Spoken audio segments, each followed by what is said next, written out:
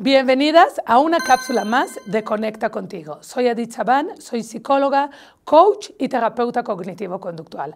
Hace unos días pasamos Yom Kippur, un día de mucha reflexión y mucho análisis. Hoy quiero hablar con ustedes sobre el perdón. ¿Por qué es tan importante perdonar a nivel psicológico? La realidad es que cuando nos lastiman, nos duele, nos enojamos, nos frustramos y también nos decepcionamos.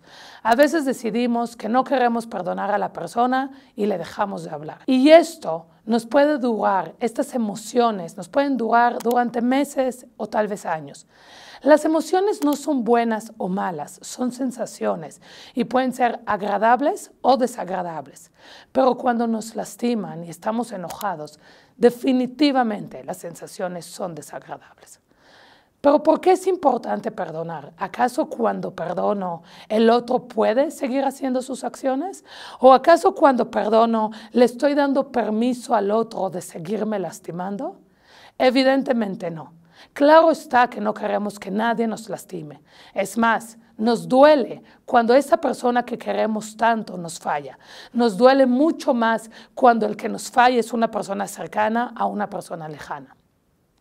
Pero el perdón es para nosotros, para, vivir en paz y en armonía para que podamos liberarnos de todas estas sensaciones desagradables, para poder decir, ok, esta persona me lastimó, pero yo tengo derecho a seguir con mi vida.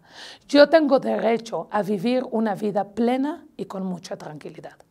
Me ha pasado que en el consultorio las personas me dicen, yo no le voy a perdonar a mi expareja, o yo no le voy a perdonar a mis papás cuando me hicieron esto y esto en mi niñez o en mi adolescencia, o yo no le voy a perdonar a mi jefe o a mi jefa porque tal vez me corrieron de una manera injusta. Y lo único que siempre les pregunto es, ¿y qué vas a hacer con estas emociones?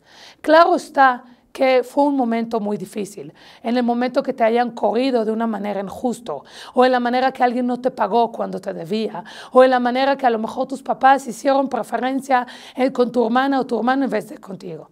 Pero ¿qué vas a hacer con estas sensaciones? Al final te las puedes quedar toda la vida y vivir una vida de enojo, de frustración, de rencor y tal vez de amargura. Créanme, la otra persona no tiene idea de lo que estás sintiendo. O Decir, ok, me dolió, pero perdono, lo dejo pasar. Voy a vivir una vida tranquila. Lo que hizo la persona se quedará en sus acciones, pero yo, yo voy a estar tranquilo. Voy a aprender de esta situación para ser una mejor persona. Y creo que, que si lo vinculamos un poquito con Yom Kippur, claro está, es un momento de mucho análisis, de mucha introspección, de preguntarnos qué hicimos este año para que el próximo año seamos mejores personas. Y ese es el mensaje que les quiero dejar hoy.